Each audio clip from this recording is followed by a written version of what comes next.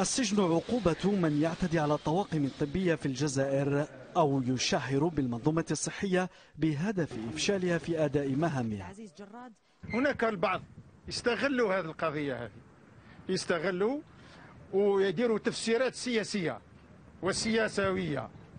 فهمني عوض أنهم يتجندوا لحمايتهم وحماية أهلهم الهدف من هذه الخطوة بحسب السلطات هو حماية السلك الطبي من كل عنف أو اعتداء أيا كان شكله أو وسيلته أو مرتكبه.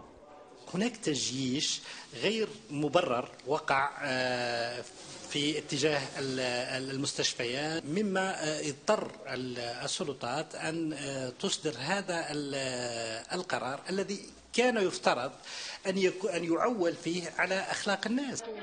فيديوهات أثارت جدلا كبيرا على مواقع التواصل الاجتماعي منها ما تم تسجيله عبر الهواتف وأظهر اعتداءات مقصودة على الأطباء والممرضين.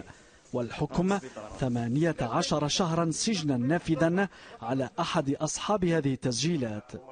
قوانين موجودة تحتاج فقط إلى الصرامة في تطبيقها لأنه تعلم أنه من سيكون آه، مهدد بعقوبة الحبس سيفكر ألف مرة قبل أن يتلفظ بأي آه، كلمة أو يمد يده ضد أي واحد من الأطقم الطبية.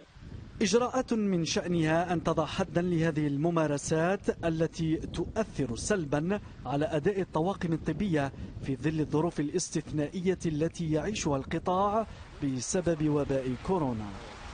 لم تكفهم مواجهة كورونا بل امتدت إليهم أيادي الاعتداء. مشهد أجبر سلطات البلاد على التدخل الفوري لحماية الأطقم الطبية بكل الوسائل لتضمن لها القيام بواجباتها الإنسانية. على أكمل وجه صلاح الدين قعاش العربي الجزائر.